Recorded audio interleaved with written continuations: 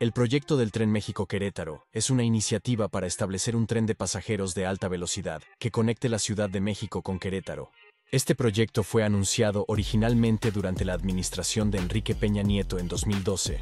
El plan original incluía la construcción de una vía doble electrificada de aproximadamente 210 kilómetros de longitud, con un tiempo de recorrido estimado de 59 minutos entre ambas ciudades, se proponía utilizar trenes con una capacidad de velocidad entre 300 y 350 km por hora, con un promedio de velocidad operativa de 180 km por hora. El proyecto del tren México-Querétaro ha experimentado algunos contratiempos a lo largo de los años. En 2015, el proyecto fue suspendido debido a supuestas anomalías.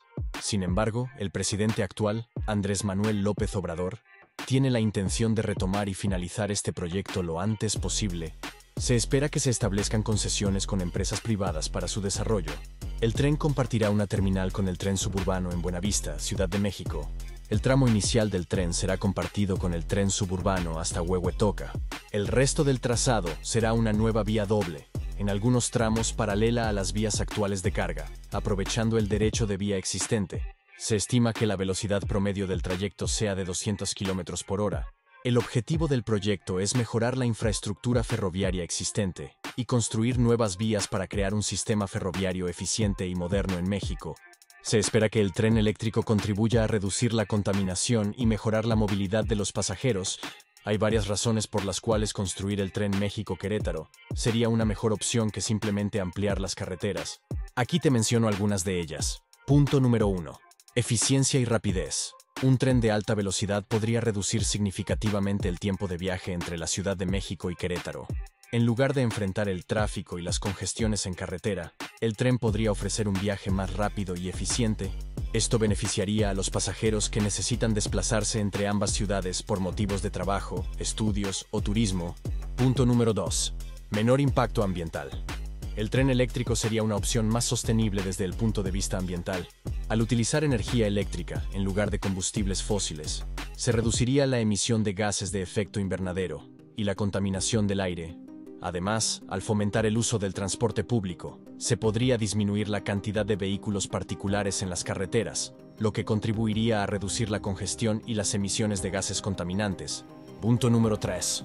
Desarrollo económico. La construcción del tren México-Querétaro podría generar empleo y promover el desarrollo económico en la región, durante la etapa de construcción, se requeriría mano de obra y se impulsaría la industria de la construcción. Una vez en funcionamiento, el tren podría facilitar el turismo y el comercio entre ambas ciudades, lo que podría tener un impacto positivo en la economía local. Punto número 4. Seguridad vial. Ampliar las carreteras puede ayudar a aliviar la congestión, pero no resolvería completamente los problemas de seguridad vial. Los accidentes de tráfico son una preocupación constante en las carreteras, y el tren podría ofrecer una alternativa más segura para los viajeros. Además, al reducir la cantidad de vehículos en las carreteras, se podría disminuir el riesgo de accidentes y mejorar la seguridad vial en general. Punto número 5. Tren de alta velocidad, Ciudad de México-Santiago de Querétaro.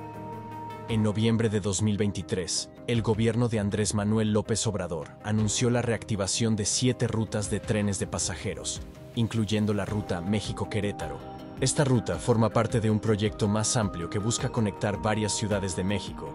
Punto número 6. Plan original del tren México-Querétaro. En 2014, la extinta Secretaría de Comunicaciones y Transportes presentó un plan para el tren México-Querétaro. Se proponía un recorrido de 210 kilómetros y se esperaba que el tren alcanzara altas velocidades. Punto número 7. Estado actual del proyecto. El plan de trenes del gobierno de AMLO contempla la conexión de la Ciudad de México con varias ciudades, incluyendo Querétaro. Sin embargo, no se ha proporcionado información específica sobre los avances del proyecto. Punto número 8. Alternativa al transporte de carga. El proyecto del tren México-Querétaro también busca ofrecer una solución al transporte de carga entre la Ciudad de México y Querétaro, como una alternativa a la saturación de la autopista México-Querétaro. Estas son solo algunas de las razones por las cuales construir el tren. México-Querétaro podría ser una opción más beneficiosa en comparación con simplemente ampliar las carreteras. Sin embargo, es importante considerar todos los aspectos, incluyendo el costo, la viabilidad y el impacto social, antes de tomar una decisión definitiva. Actualmente el proyecto del tren México-Querétaro se centra en la conexión entre la Ciudad de México y Querétaro. Sin embargo, en el futuro podría haber planes para ampliar la ruta del tren a otras ciudades o regiones. Según los informes y anuncios oficiales, las siete rutas propuestas para los nuevos trenes de pasajeros en México son las siguientes. Ruta Tren México-Veracruz-Coatzacoalcos. Esta ruta conectaría la Ciudad de México con Veracruz y Coatzacoalcos, en el estado de Veracruz. Ruta Tren Interurbano AIFA-Pachuca. Esta ruta conectaría el Aeropuerto Internacional Felipe Ángeles, AIFA, ubicado en la Ciudad de México, con la ciudad de Pachuca, en el estado de Hidalgo. Ruta Tren México-Querétaro-León-Aguascalientes. Esta ruta conectaría la Ciudad de México con Querétaro, León y Aguascalientes, pasando por diferentes estados del centro norte de México. Ruta Tren Manzanillo-Colima. Esta ruta conectaría el puerto de Manzanillo, ubicado en el estado de Colima, con la ciudad de Colima, la capital del estado.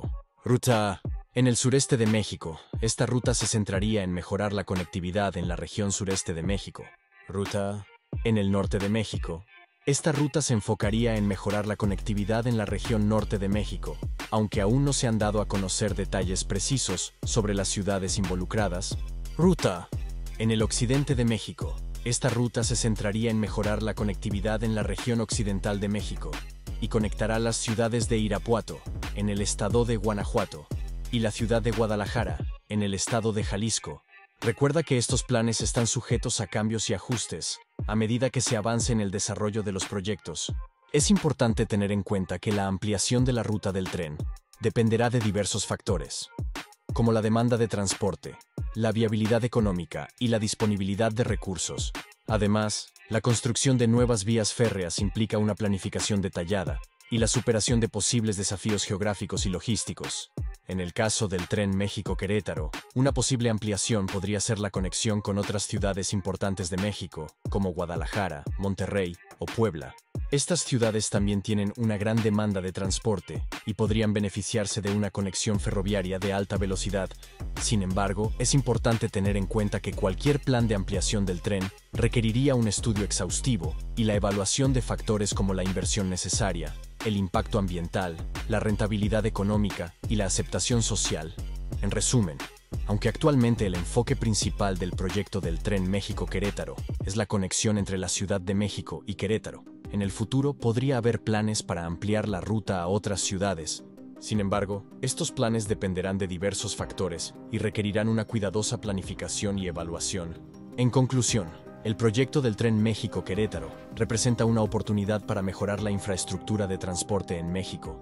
La construcción de un tren de alta velocidad entre la Ciudad de México y Querétaro tiene el potencial de reducir los tiempos de viaje, mejorar la eficiencia y contribuir a la sostenibilidad ambiental.